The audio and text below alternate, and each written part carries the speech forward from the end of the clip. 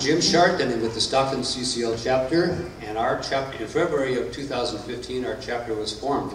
We soon learned that we were expected to establish a relationship with Jerry McNerney, our congressional representative. I had never met him, and I'm chagrined to admit that I knew very little about his stances on anything. And so our first meeting with him the following April was for me cause for anxiety. We were thrilled flabbergasted when Representative uh, McNerney described in some detail a bill he was working on which included the basic provisions of the CCL uh, proposals. I thought to myself, that was easy. I soon learned differently. So in uh, December, he uh, introduced the Consumer Rebate Act. The passion for action on the climate uh, displayed in the Consumers Rebate Act comes from who Jerry McNerney is. Prior to serving in Congress, he worked for many years as an engineer on wind energy solutions and even formed his own startup company to manufacture wind turbines. And he has a, C, a PhD in mathematics. He was elected to the House of Representatives in 2006, and his district, California District Number 9, includes parts of San Joaquin, Contra Costa, and, San, and Sacramento counties. He sits in the House Committee on Energy and Commerce, and on uh, sub subcommittees on energy and power, uh, communications and technology, uh, environment and, uh, and economy, and the subcommittee on economic opportunity. He also serves on the uh, House Committee on Veterans Affairs, great since he, both he and his son had served in the military. Representative McNerney has been and continues to be a vocal advocate for protecting our California Delta and in 19, I'm sorry, 2015, he and Republican Congressman Walter Jones formed the Bipartisan Congressional Campaign Finance Reform Caucus to address the problems of the influence of money in politics. We appreciate that uh, Representative McNerney will be speaking to us today, and ladies and gentlemen, the Honorable Jerry McNerney.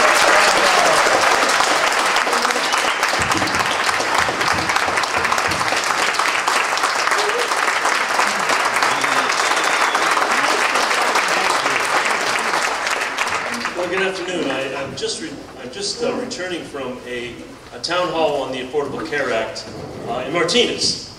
And uh, I can tell you there's plenty of enthusiasm uh, for resisting that uh, overturning that they're trying to do in Washington. So there's a lot of good people around who want to get involved. And, and I told them, well, I'm going to go talk about climate change, and they erupted. So uh, there's some synergy here, too. So it's a, it's a great day for us. Um, I want to tell you the first time I heard about climate change was in 1969. I got a few gray hairs here, but uh, I was a uh, cadet at the United States Military Academy, and then uh, our basic engineering class, they said, well, there's something called greenhouse gases, and they're being trapped in the uh, atmosphere, and uh, it's trapping heat, and sooner or later we're going to have to deal with this. So in 1969, the United States military was aware of the threat of climate change already. And so uh, when I was, uh, was 18, I thought, well, geez, that's a long time. I have to worry about this for a little while. But uh, we're having to worry about it now. Um, but it's a pleasure to be here. I really appreciated uh, the Citizens Climate Lobby and the work that I've had to, uh, that I've gotten to enjoy with members uh, of, the, of the lobby. So it's a, it's, a, pleasure, and I really appreciate what, what the lobby does. I mean, I really appreciate last year there was a fly-in. We had a three-member panel. There was a Republican, there was myself, and a former member of Congress. Uh, it was a very good discussion. So things are happening here, of course. Uh, you'd expect them to be happening here, but they're happening all over the country. So uh, keep up the work. We really need it. Um, and uh, what I love is the engagement. Uh, we, uh, as was noted, we submitted the, the, Citizens Rebate Act. It started with a $15 per ton uh, and increased that $10 per year. It also had a, uh, a border adjustment uh, and also um, a quarterly rebate. And, uh, I think I was proud of the bill. As I look at it now, I think there's things we could do to make it more appealing uh, to more of my colleagues, and we're going to be trying to do that uh, and create a new bill this year to do that. So we need to look at what we can get done and, and what needs to be done. And as you all know, we are kind of running out of time to do what's needed. So uh, I'm determined Um, we have some challenges. Uh, as you know, we just uh, got a confirmation of the new director of the Environmental Protection Agency. He's not really one of our uh, people. Um, and uh, we're going to have to find out uh, in the next coming months how we can how we can deal with this. I, I am aware of a, uh, of a group uh, that's going to be formed uh, of high-powered attorneys that want to protect uh, scientists, climate scientists, and government scientists that may face blackballing, that may face uh, losing their jobs in the next year or so. So I'm, I'm, I'm going to be speaking to them in March, and I want to encourage them to look out for, for our scientists because uh, as you may know, uh, to, to, get involved in science, uh, it's not easy. You have to sort of dedicate yourself in your college years. Um, you can party a little bit now and then, but you got you got to go to those books and you got to study hard. You, you, know, it sort of isolates you. Um, and then when you go to grad school, you see your friends going out there, they're getting business jobs, they're making money, um, and then you get your PhD, you got to do three or four years of postdoc, you know, you're getting $30,000 a year. Your colleagues that went to college with you are making $200,000, $300,000 a year. So it's a real a commitment to, to folks to go into science these days.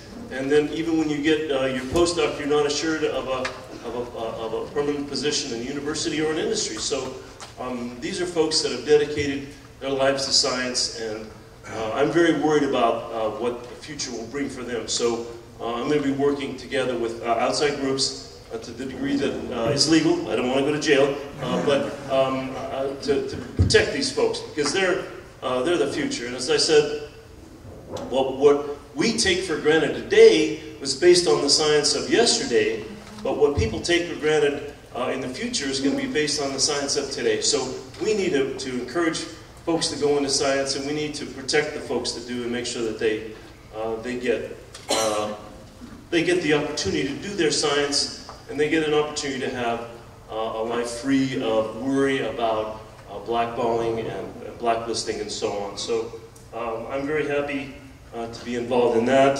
Um,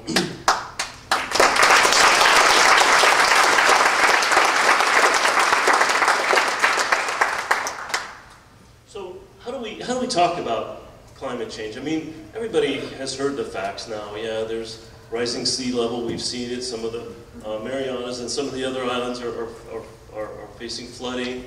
Uh, there's a big piece of the West Antarctic ice shelf that looks like it's going to break off soon. Uh, we see diseases spreading into more temperate areas that were uh, typically in the, in the more tropical areas. I mean, the evidence is pretty strong. I mean, it's, it's overwhelming. It, it's almost impossible to deny it. Uh, and everybody's heard these facts. Um, and, and the facts, well, 95% of the, of, the, of the climate scientists and so many, large percentage of the peer-reviewed articles are, uh, uh, are acknowledging human-caused climate change, and yet that, those facts don't get to those people. maybe it's the brainstem. We have to talk to this part. this part. So how do you talk to that part? I mean, you talk about human stories. You talk about uh, uh, uh um, American patriotism. You talk about um, what happened in, in Hurricane Sandy? You talk about the people that are being displaced, and you talk about personal stories. I mean, that's what it takes uh, to talk to people that may not be believers.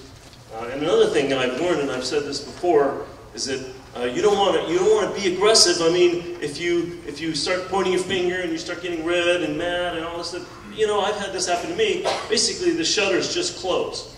You know, you don't listen anymore. It's, uh, the conversation's over. So you need to talk to people in a reasonable, civil fashion. You got to show respect for their opinion uh, and, and show the human side of it. I think that's the, the best tool that we have. But persistence uh, is also very, very important. Uh, meet with meet with somebody once a year.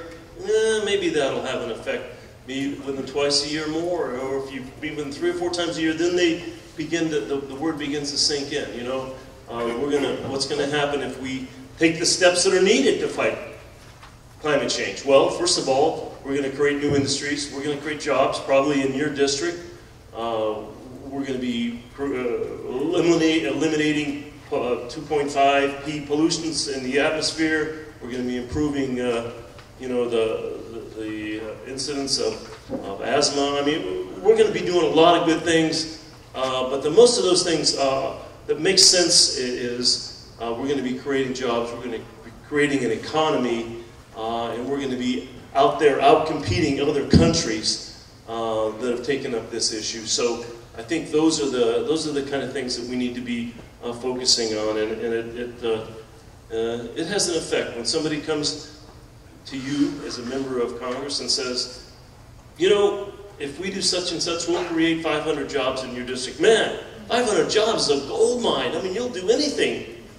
Almost. They get 500 jobs in your district. So uh, I, I, think um, focusing on the uh, economic part of it is probably uh, another key issue that will help a lot.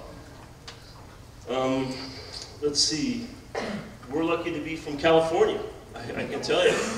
Uh, I've never been more proud than to be from this state when I see uh, the progress we've made with the, with the renewable portfolio standards, with AB 32, with the state senate, the, the, the leader of the state senate saying that he's got people's in California's back when it comes to ACA uh, um, repeal. I mean, we're living in the state that's going to be leading the country and leading the nation. So y'all ought to be really, really proud of being Californians. And uh, I don't. I,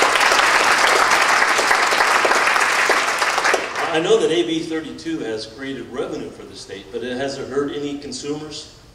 Does anybody know of any consumers that it's hurt? No, I don't think so. I mean, uh, and if we follow through with uh, with the rebate part of that, it'll improve the economy. I mean, the guy out there that, that's driving an old car, you know, will say, you know, I'm going to take my quarterly uh, check or my monthly check and I'm going to go out and buy one of those new hybrid cars or electric car. And that'll improve our economy. You're going to say, well, my house is kind of leaky. Maybe I can get some storm windows put in. Maybe I can get the... I mean, these are all job creators. And so we know for sure that that rebate uh, is going to uh, create economy and wealth. So we have a lot going for us in terms of where we want to go with that. Um, I don't want to forget anything important, but uh, it's important that we continue to force this issue. Um, I, I, do plan on, on in, uh, introducing my new modified bill uh, probably by mid-year. Now, uh, it's important, one of the things that I really want to do is get Republican co-sponsors for my bill. And that's, uh, we have a number of Republicans that have signed on uh, last Congress and this Congress uh, onto resolutions, which really don't mean, resolutions are just a statement of, of a position really or a belief uh, that climate change is real, that it's uh, caused by humans. I think there's at least 13 Republicans that are on that now. They're not probably not quite ready today to get onto my uh, carbon tax bill, but I think if we work on them, I think there's a chance that we'll be able to get some of them on.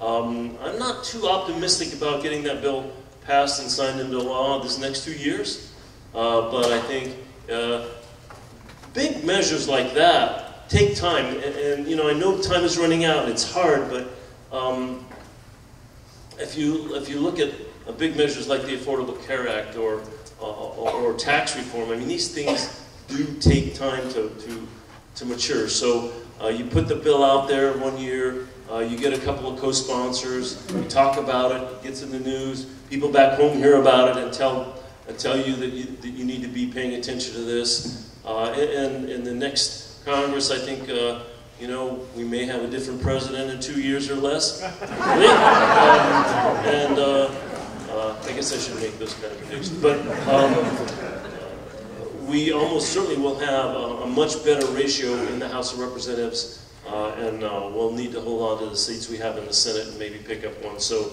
uh, I think in the next Congress, uh, between uh, 2018 and, and, 2020, I think we have, or 2019 and 2020, we have a, a realistic chance of getting something done in this issue. Now, um, the Ways and Means Committee, they're the committee that writes the tax law. Uh, they are working at, uh, on stuff that I think uh, I can use in, in my bill uh, to, to, encourage, uh, to encourage support on the Republican side. So um, one of the things that I want to insist on is that we, we keep increasing the price of carbon until we reach uh, our attainment of 80% reduction of carbon emissions. Uh, and that'll be our, that'll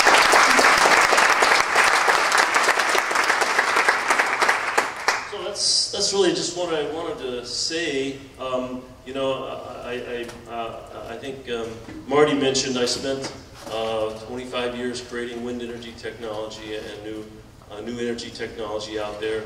Uh, it was a passion of mine. It started again when I was in college. Uh, the old, the Arab, the oil embargo that we had in the 70s made me understand how important energy issues were. I was a avid bike rider, and breathing fumes in from cars as they passed also was a motivator. Um, but it, it, wasn't until a little bit later that the climate issue really started hitting home. So uh, it's, it's, it's, come, it's come around. It's maturing. Uh, you know, even the most strident uh, Republicans are now acknowledging that climate change is happening. I mean, not, not folks like uh, but um, there's, uh, there's plenty of Republicans that, that I know personally uh, in the House that, uh, that, that, understand that this is a threat. They're still a little bit afraid to go against the, the party, party orthodoxy because of fear from, from primary threats in the next election. So um, if we can figure out how to lower the threat of primaries on moderate Republicans that actually believe we need to do something, I think that would be probably the most important thing we can do. So I'll put on our thinking caps and, and uh, over the next uh, few months come up with ideas on how we can uh, assure moderate Republicans that supporting climate uh, um, legislation is not going to cost them their seats. Thank you.